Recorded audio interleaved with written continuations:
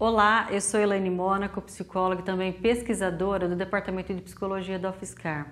Estou aqui para falar um pouco sobre a minha pesquisa de mestrado, que avalia a relação entre a inteligência emocional e a autoestima em adultos.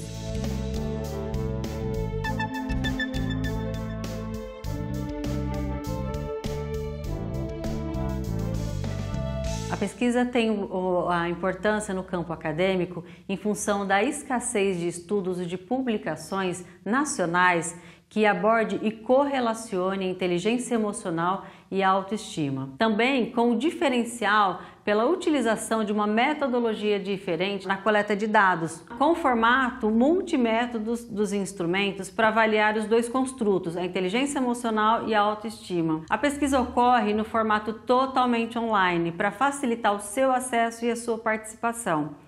Então, se você tem de 18 a 50 anos e o ensino médio completo, acesse a plataforma do grupo de pesquisa da UFSCar, preencha os questionários e instrumentos que abordam sobre a inteligência emocional e a autoestima, com tempo estimado de participação em torno de 40 minutos.